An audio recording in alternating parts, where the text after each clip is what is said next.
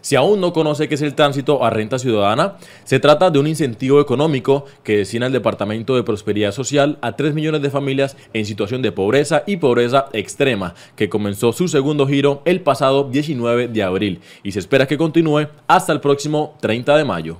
Los pagos constan de 160 mil a 500 mil pesos, realizados en todo el territorio nacional cada dos meses. Su alcance llegará a 1.102 municipios.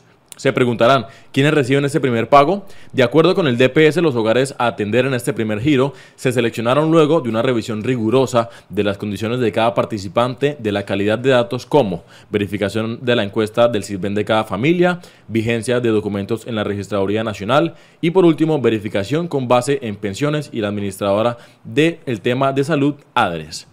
Los pagos de la renta ciudadana serán a través del Banco Agrario del 29 al 30 de mayo. Esta entidad hará uso de varias modalidades para entregar el subsidio, como lo son los giros electrónicos, el abono a cuentas de ahorro del banco, cajas extendidas, billeteras digitales y a través de giros con diferentes aliados como La Perla, que recibirá en sus oficinas a los beneficiarios por medio de pico y cédula para evitar aglomeraciones en los puntos. Los números de pico y cédula para acercarse a retirar son los siguientes. Lunes 1 y 2, martes 3 y 4, miércoles 5 y 6, jueves 7 y 8, viernes 9 y 0. Y el sábado recibirán a todos los dígitos. Entre los puntos autorizados para la entrega del incentivo están Oficina principal sobre la calle 50, Oficina Primero de Mayo, Aguas de Barranca Bermeja, Centro Comercial San Silvestre, El Guamo en el corregimiento del Llanito, Campo 38 en el corregimiento del Centro y el Centro Comercial La Fortuna.